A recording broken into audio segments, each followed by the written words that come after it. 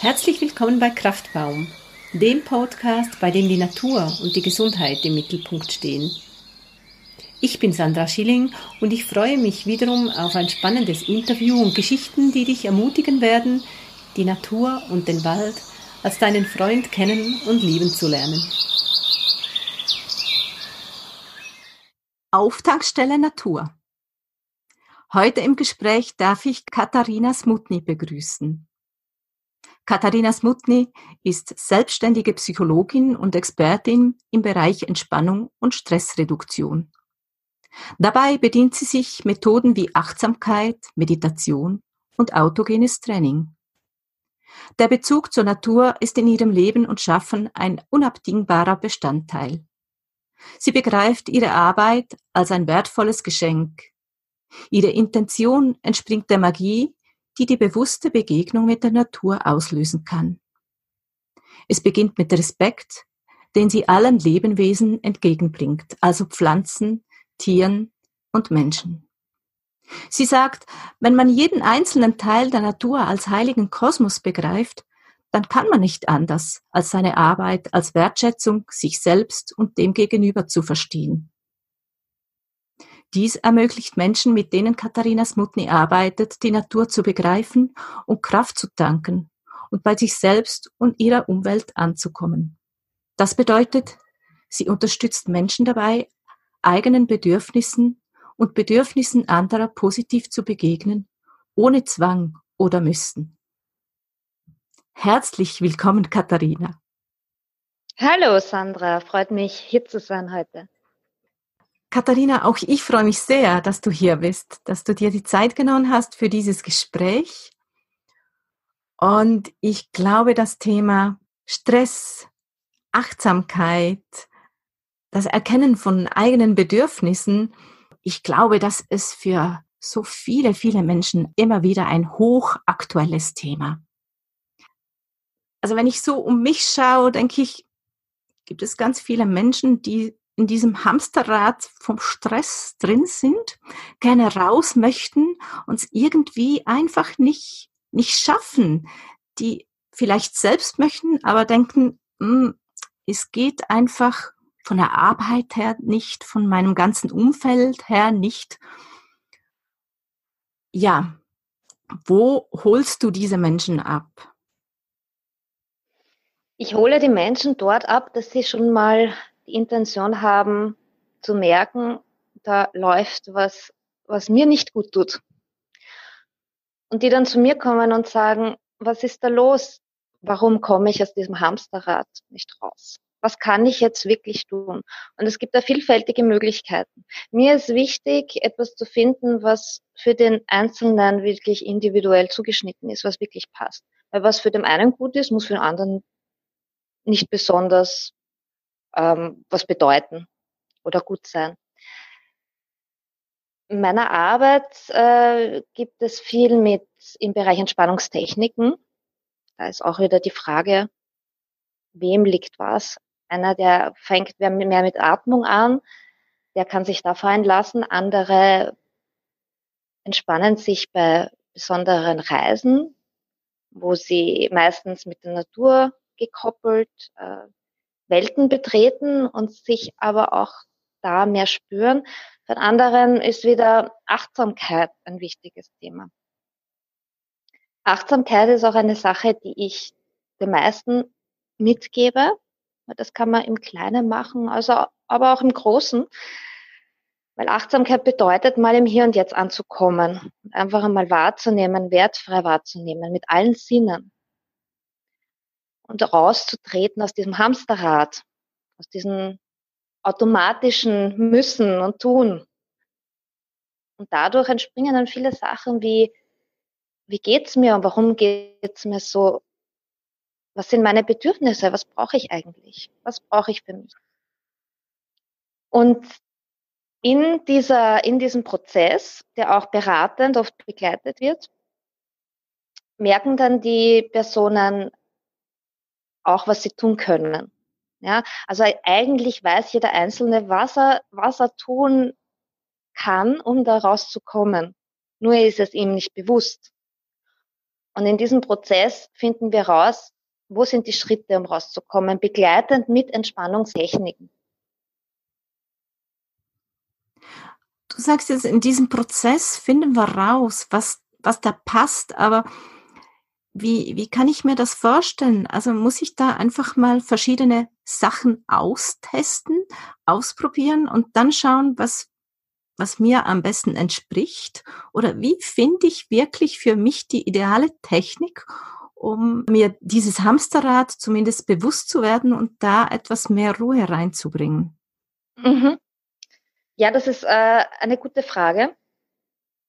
Die meisten, die zu mir kommen, die haben schon irgendwas ausprobiert. Die kommen zum Beispiel und sagen, ich habe mal vor vielen Jahren autogenes Training gemacht und das hat so gut gewirkt.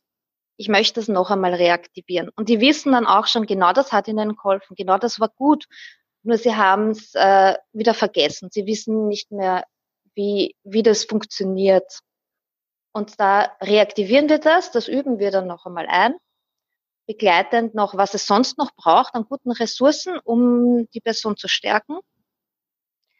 Wenn wer ganz neu kommt, dann ist es so, dass wir da meistens ähm, in der, nach dem Erstgespräch, in der ersten Stunde, eine Meditation machen, wo ich mehrere Elemente einbaue. Also ich vermische auch gewisse Sachen. Ich vermische, also ich bringe die Atmung rein, ich bringe eine Reise rein. Und dann kommt oft äh, irgendwas löst was aus, irgendwas löst was sehr Positives aus und da setzen wir dann an. Also das ist dann manchmal schon eine Suche nach dem, was ich brauche, was ist für mich gut und das finden wir eben heraus. Und bei dir spielt ja die Natur eine ganz wichtige Rolle in deinen Beratungsgesprächen. Weshalb ist für dich das ein wichtiger Bestandteil? Ich habe das Glück, äh, in einer Zeit mit Eltern aufzuwachsen. Ähm, als ich Kind war, war ich viel in der Natur. Und ich habe da immer sehr viel entdeckt, sehr viel Kraft geschöpft, mich entspannt, sehr viel Spaß gehabt, meine Lebendigkeit ausgelebt. Und deswegen äh, ist das auch ein Teil von mir, der ganz wichtig ist, dass ich das spüre, dass das so ist. Und diesen Teil will ich eben weitergeben, weil ich mittlerweile in meinem ganzen restlichen Leben gemerkt habe, immer wenn ich in die Natur gehe, komme ich irgendwie an. Komme ich aus diesen, ich bin ja selber auch manchmal in diesem Hamsterrad, ist nicht so, dass ich keinen Stress hätte. Äh, es ist auch nicht so, dass man Stress vollkommen vermeiden kann. Man muss nur schauen, wie kommt man da wieder raus? Was kann man dann für sich tun? Wie kann man wieder runterkommen? Und Natur ist etwas ganz Besonderes, um wieder zu sich selber zu finden, sich so quasi zu erden. Und das ist das, was ich weitergebe. Entweder wirklich in die Natur gehen mit Klienten oder auch im Bereich Fantasiereisen. Natur zu visualisieren und da einzutauchen, da ist ja der Fantasie keine Grenzen gesetzt. Da kann man ja zum Strand reisen oder in einen tropischen Regenwald. Also Sachen, die man vielleicht im wirklichen Leben gar nicht so leicht umsetzen kann. Aber der Effekt ist trotzdem da. Genau, und da gibt's ja im Bereich dieser Fantasiereisen, gibt's ja von dir ganz schön eingesprochene Meditationen oder eben Fantasiereisen. Da geht es dann schon eben einzutauchen in die Welt der Natur. Ja, genau so ist es. Mhm. Und auch mit den Elementen der Achtsamkeit. Also wirklich einmal ähm, sich das bildlich vorzustellen. Eine Blumenwiese. Was gibt es da für Farben, für Formen? Wie schaut so eine Blumenwiese aus? Ist das weit? Ist das nah? Wo sind die Grenzen? Dann mit anderen Sinneseindrücken hineinzugehen. Was hört man dort? Was kann ich, könnte ich dort hören? Ja, fleißige Bienen, die da ihren Honig sammeln oder Vögel, die zwitschern und singen. Wie riecht das Ganze? Wie fühlt sich so ein Gras an oder eine Blüte oder eine Baumrinde? Und was spüre ich auch in mir? Was, was, was löst das aus? Man kommt in diesem Moment an und was oft passiert, ist so ein, ein, kleiner, ein kleiner Zauber. Also neben der Entspannung, neben der Ruhe, die man hat, ist es auch so ein, ein kleiner Zauber, wo man einfach sich selber plötzlich anders begegnet, sich selber eingebettet in dieser, in diesem Naturerlebnis mal anders wahrnimmt und auch die Umgebung. Und mit dem geht man auch raus. Also nicht nur mit einer Ruhe, mit einer Kraft, die man aufgedankt hat, sondern auch mit einer Gelassenheit sich selbst gegenüber und anderen gegenüber. Und das ist dieser Zauber, von dem ich spreche. Und das wirkt sehr nachhaltig, wie ich das sehen kann bei meinen Klienten. Ja, und das ist schön. Ja, und ich meine, jeder Mann hat ja schon Erinnerungen an Naturerlebnisse und die meisten von uns sicherlich positive, eben so eine wunderschöne Blumenwiese im Frühjahr, die duftet und überall die, die Sommervögel und Bienen und so. Und dann, dann wird das auch wieder wachgerufen. Diese Erinnerungen werden da wieder geweckt. Und das finde ich auch ganz eine schöne Art, dass man sich so die Natur auch wieder ins Wohnzimmer holen kann. Gerade jetzt in der Winterzeit, wo man vielleicht etwas weniger oft ja durch die Wälder streift, dass man doch so wieder auftanken kann an Erinnerungen. Genau, das ist sehr an Erinnerungen geknüpft. Ähm, es gibt auch äh, die Umweltpsychologin, fällt mir ein, Nicole Bauer, die sagt auch, dass Natur, je, je mehr man Erfahrungen hat als Kind in der Natur und wirklich positive Kindheitserfahrungen, desto größer spielt die Wirkung der Natur eine Rolle im Erwachsenenalter. Also je wichtiger einem als Kind der Wald war, desto besser wird man sich als Erwachsener auch darin erholen. Ja, weil man auch diesen, man, man spricht auch ähm, in diesem Zusammenhang, im NLP zum Beispiel, äh, gibt es eben den Begriff Ankern. Das wäre so ein Anker, also wirklich auf Sinneseindrücke geankert. Wenn man eine Baumrinde riecht, dass man dann gleich an einen Wald mit Bäumen denkt. Oder ich kann auch erzählen, ich war als Kind oft in Kroatien am Meer. Und da hat es einen Pinienwald gegeben. Und immer wenn ich, wenn ich diesen Geruch in der Nase habe, irgendwo, dann bin ich sofort wieder drüben als Kind in Kroatien an diesem Strand. Und die Gefühle, die kommen dann mit. Und das ist auch was ganz Starkes und was ganz Besonderes. Und das ist genau das, was du sagst. Man fällt wieder zurück in diese Welt, die gut war, oder dieser Moment, diese Situation, die gut war, und das holt man sich zurück mit den Eindrücken, mit den Gefühlen. Und das tankt auf in dem Moment. Genau. Aber jetzt stellt sich mir dann doch die Frage, wie ist es jetzt für einen Großstädter, der vielleicht kaum mehr als Betonblöcke gesehen hat, kann der denn dennoch was anfangen mit so einer Naturmeditation? Oder muss der erstmal raus, um die Natur wirklich so hautnah zu erleben, um diese Erinnerungen verknüpfen zu können? Oder was, was empfiehlst du so einer Person ganz konkret? Das kommt wieder natürlich auf, den, auf die jeweilige Person an. Manche bei dem kann man dieses Erlebnis wieder triggern, indem man einfach eine Fantasiereise macht und das wieder zurückholt, wie wir vorhin gesagt haben, mit der Kindheitserinnerung. Der sagt wow, ich war jetzt wirklich dort, ich kann es kaum glauben. Ähm, bei Fällen, wo das schwerer geht, empfehle ich auch Hausübung rausgehen. Ja. An den, an, in die nähere Umgebung gehen. Es gibt ja oft Parks. Ja, das reicht oft schon. Einen kleinen Park, den man aufsucht. Da gibt's Bäume. In den Himmel schauen, die Farbe Blau genießen, die Vögel zwitschern hören. Das ist oft auch schon ein guter Input. Und es gibt auch Studien, die belegen, dass dieser Natureffekt, ja, also dass man sich entspannt, wenn man in der Natur ist, äh, dass den auch gibt, wenn man gar nicht wirklich in der Natur ist, sondern wenn man Naturszenen zum Beispiel vom Bildschirm oder als Bild beobachtet. Gibt es eine interessante Studie von der EIDES Genössischen Forschungsanstalt für Wald, Schnee und Landwirtschaft. ähm, die das untersucht hat, die Menschen aufs Laufband gestellt hat, äh, zwei Gruppen gebildet hat.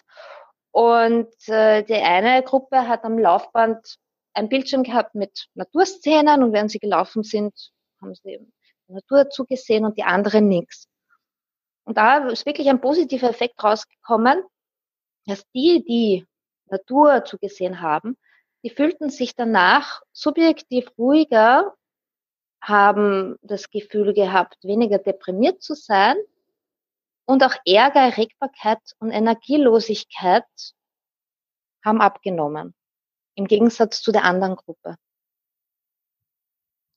Also könnte ja jetzt zum Beispiel jemand, der so mitten im stressigen Büroalltag steckt, ein schönes Naturbild in seinem Arbeitsplatz aufhängen und einfach genau. zwischendurch dieses Naturbild anschauen oder seinen Bildschirmschoner zum Beispiel wirklich ja, ja dann schönes Naturbild drauf machen und das nützt schon, sagst du. Laut dieser Studie, genau, nützt das.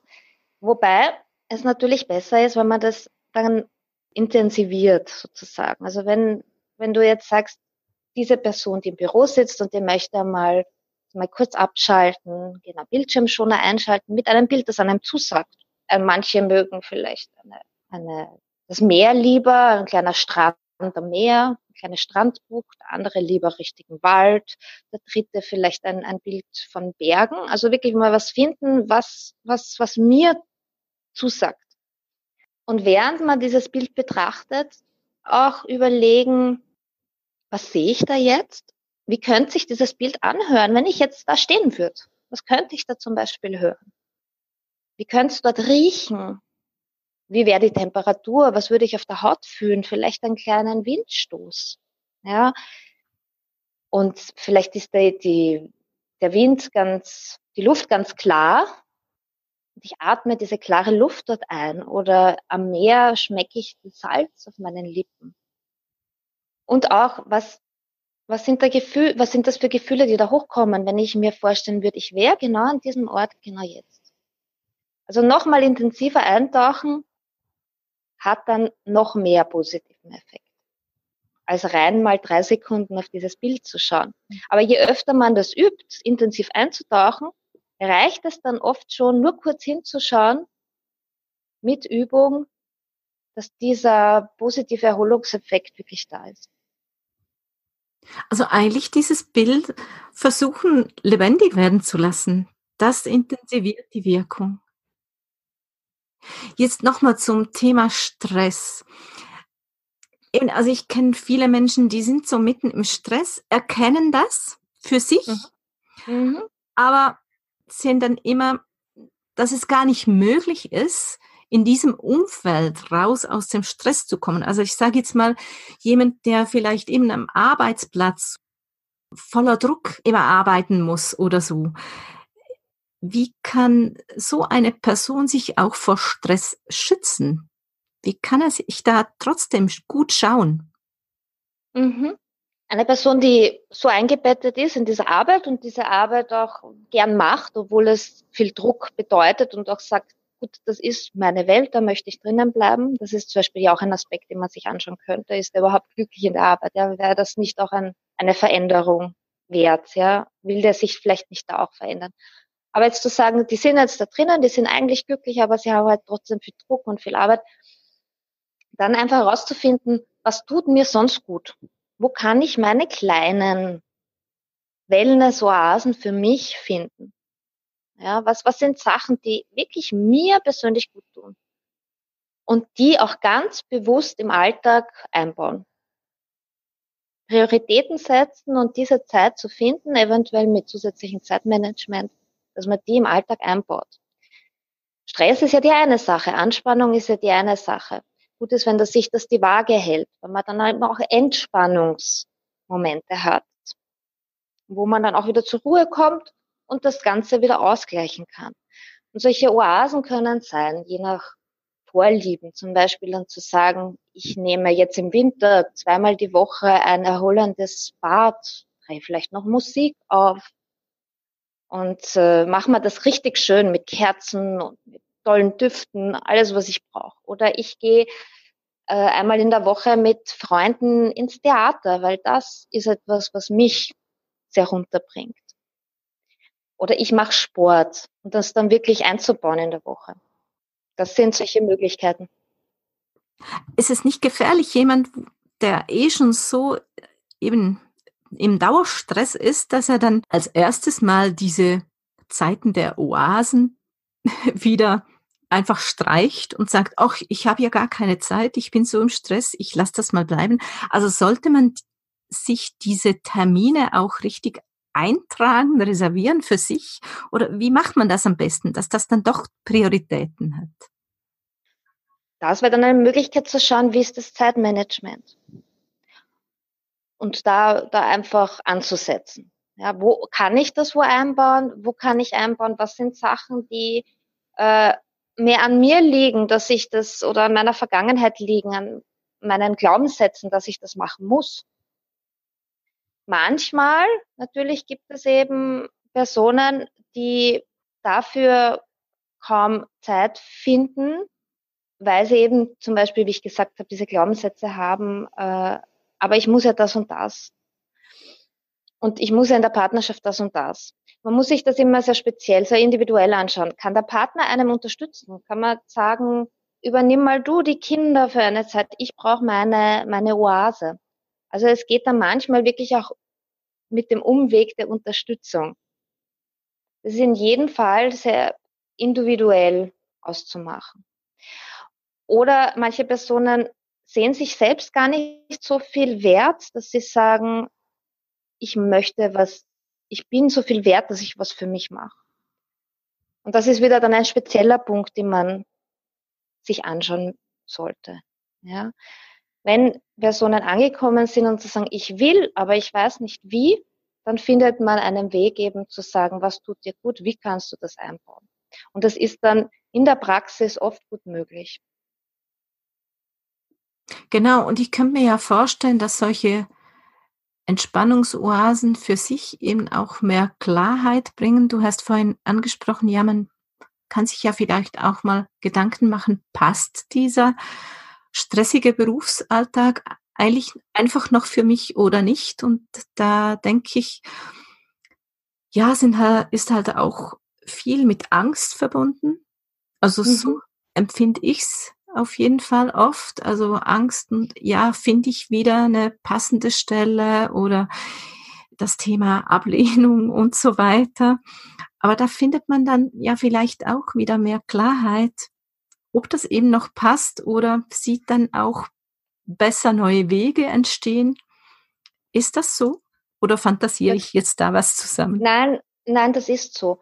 Weil genau bei diesen Entspannungsmomenten, ja, oder diesem Reisen oder der bewussten Atmung, wirklich bei sich selbst anzukommen. Und das ist ja was, das tut man für sich und man kommt bei sich selber an und man spürt sich einfach dann ganz anders. Viele, die in dem Hamsterrad gefangen sind, laufen halt mit, die funktionieren. Ja, und das sind halt Möglichkeiten mit Entspannungstechniken und auch mit einer Beratung äh, zu schauen, jetzt komme ich mal bei mir an, was will ich eigentlich? Warum mache ich nur das, was andere wollen? Ich möchte ja auch, auch leben und ich möchte ja nicht nur funktionieren. Und was tut mir gut? Das auch einmal herauszufinden. Was, was tut mir gut? Ohne andere vom Kopf zu stoßen, zu sagen, jetzt bin ich nur noch ich und jetzt zählt nur noch ich, sondern wirklich zu sagen, was tut mir gut und die Interaktion, eine gute Interaktion mit der Umwelt tut mir ja auch gut. Es geht auch oft um eine sanfte Selbstbehauptung. Da betone ich auch das Wort sanft, ja, weil dann zu sagen, ähm, ich setze mich durch um jeden Preis und es geht, wie gesagt, dann nur um mich, macht dann auf Dauer auch nicht glücklich, weil man dann andere auch ausschließt. Es geht dann auch darum, anderen anders zu begegnen, auch gelassener, weil man sich selber gelassener, entspannter wiederfindet und auch sieht, wo man seine Bedürfnisse erfüllt werden kann. Ja. Ja, das denke ich auch. Also wenn, wenn jetzt auch mal die Familie, die Partnerin oder wer auch immer Abstriche machen muss von der gemeinsamen Zeit, aber wenn man nachher mal wieder so richtig einfach genährt zurückkommt, dann, dann, ja, dann bringt das ja noch viel mehr. Und ich denke, das, was du vorhin auch erwähnt hast mit diesen Naturzeiten, kam mir mhm. einfach auch so in den Sinn, ich meine, das muss man ja nicht zwingend immer alleine tun. Da kann man mal wirklich die ganze Familie mitnehmen.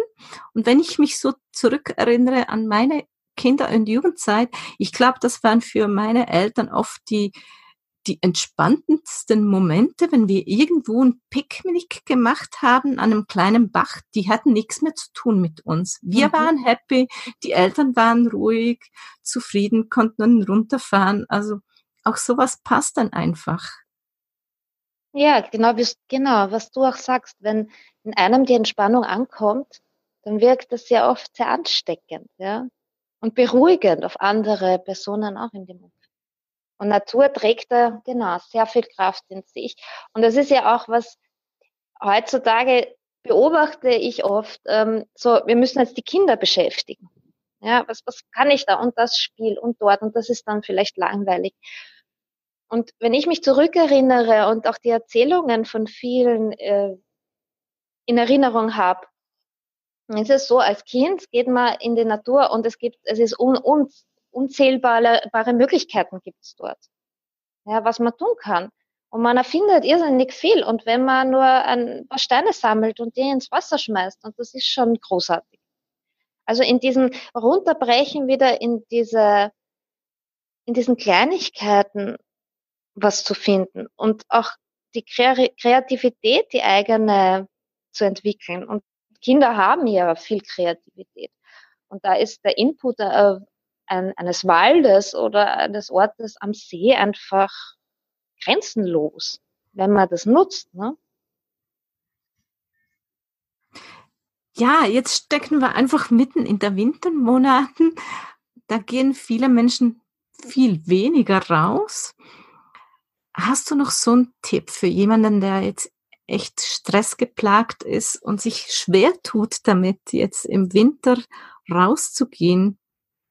Hast du dem einen Tipp, wie er sich da motivieren könnte oder wie er das auf eine andere Art und Weise sich diese Entspannung holen könnte? Also die eine Möglichkeit wäre wirklich zu sagen, so jetzt zwinge ich mich wirklich mal rauszugehen und dann zu sehen, was da eigentlich passiert. Ja. Äh, und dann vielleicht zu entdecken, ja, das ist ja gar nicht so schlimm und ich kann ja doch Sachen entdecken. Äh, die Sonne zum Beispiel, wenn die untergeht und es ist ein bisschen Licht und man sieht die Sonne und die, die leuchtet zwischen den nackten Bäumen, das ist ein ganz anderes Licht, das man hat, wenn Sommer ist oder Frühling. Also wirklich vielleicht einmal rauszugehen und zu schauen, was ist dann? Gefällt mir das auch? Kann ich da auch Kraft tanken? Für jemanden, der sagt, na, mich, mich graust total und mich stresst das noch mehr, jetzt rauszugehen bei der Jahreszeit, wäre ein Tipp. Es gibt ja auch, also ich habe ja einige Fantasiereisen und Reisen auf meiner Website, aber es gibt auch im Internet unzählige Fantasiereisen, die an, an die Natur angeknüpft sind, wie dann eben zum Beispiel äh, ein Spaziergang im Wald oder eine Reise ans Meer, was man eben gerade möchte und braucht. Und da wird man dann merken, dass man dann wirklich auch entspannter ist und ruhiger und dass die Reise wahnsinnig lebendig und real sein kann. Also sich vielleicht so die Natur mal zu holen, weil man gar kein Rausgeh-Wintertyp ist. Ja, also es gibt genügend Möglichkeiten. Mhm. Für die, die sich jetzt echt etwas schwer tun, um im Winter rauszugehen, ich möchte euch auch nur ermutigen, also es gibt so viele Sachen zu entdecken im Winter. Also heute Morgen war bei mir zum Beispiel am Bahnhof, da waren ganz viele Eiskristalle an der Scheibe, also der, an der Fensterscheibe. Allein alleine schon die, also das war ein, ein Kunstbild, das ich noch nie sonst gesehen habe. Es war heute so schweinekalt. ja, das gibt's im Sommer einfach nicht. Und ich finde auch diese Ruhe, die man dann findet in der Natur, die ist ja so anders als im Frühjahr. Also mhm.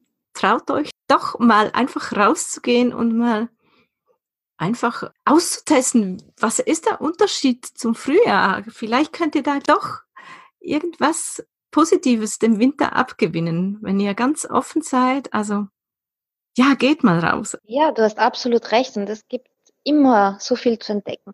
Ich denke, das ist auch, dass äh, Leute versucht, eure kindliche Neugier wieder zu reaktivieren. Nicht zu sagen, ich gehe raus und habe irgendein Ziel, sondern einfach mal zu gehen und schauen, was gibt's da zu entdecken. Es gibt einfach unzählige Sachen zu entdecken, wenn man die Sinne öffnet und neugierig bleibt.